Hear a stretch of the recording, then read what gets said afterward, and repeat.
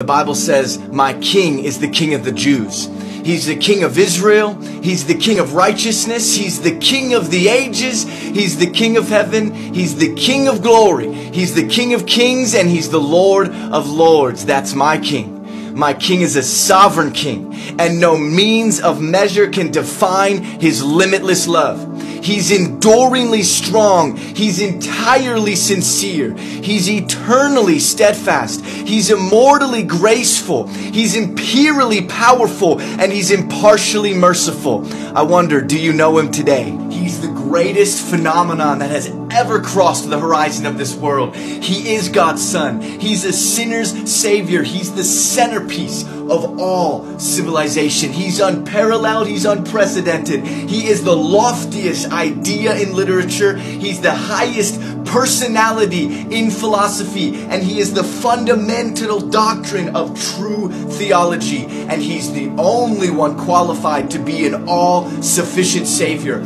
I wonder if you know him today. He supplies strength for the weak. He's available for the tempted and the tried. He sympathizes and he saves. He strengthens and sustains. He guards and he guides. He heals the sick. He cleansed the leper. He forgives the sinners. He discharges the debtors. He delivers the captives. He defends the feeble. He blesses the young and serves the unfortunate. He regards the aged. He rewards the diligent and he beautifies the meek. I'm asking, do you know him today? He is the key of knowledge. He's the wellspring of wisdom. He is the doorway of deliverance. He's the pathway of peace. He's the roadway of righteousness. He's the highway of holiness. He's the gateway of glory. Do you know him? His life is matchless. His goodness is limitless. His mercy is everlasting. His love never changes. His word is enough. His grace is sufficient. His reign is righteous and his yoke is easy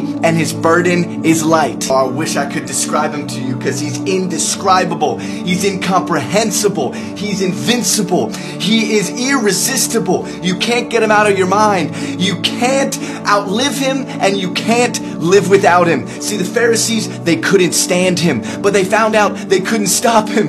And then Pilate couldn't find any fault in him, and Herod couldn't kill him. Death couldn't handle him, and the grave couldn't hold him. That's my King, King Jesus. Do you know him today?